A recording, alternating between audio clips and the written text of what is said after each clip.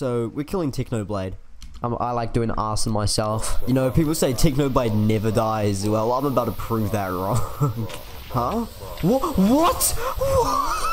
I, I, I, I don't believe that just happened.